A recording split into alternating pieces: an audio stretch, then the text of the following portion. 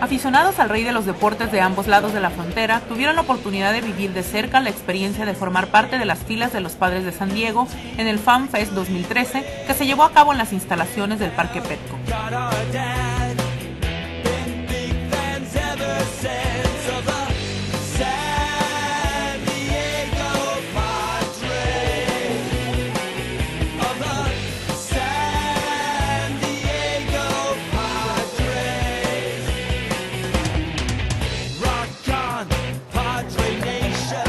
Cada año, antes de que inicie su pretemporada en Arizona, la novena sandieguina abrió las puertas de su casa para que todos los fanáticos disfrutaran diferentes tipos de actividades relacionadas con el béisbol.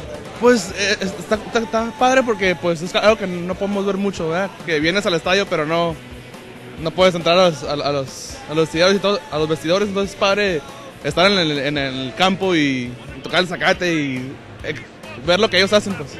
Y entrando al estadio, en la zona de las gradas se colocaron dos puntos donde varios jugadores de los frailes firmaron autógrafos, entre los que se encontraban los lanzadores Adis Castillo y Corey Luebke. Pues el tener el autógrafo de un jugador profesional, pues me, me emociona mucho. ¿De quién agarraste ahorita el autógrafo? Ahorita acabo de agarrar el de Corey Luebke, el pitcher.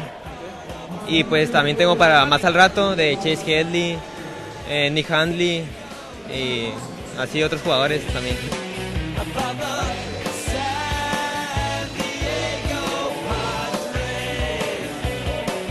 Para Frontera.info con información de Ángel González e imágenes de Jorge Valencia.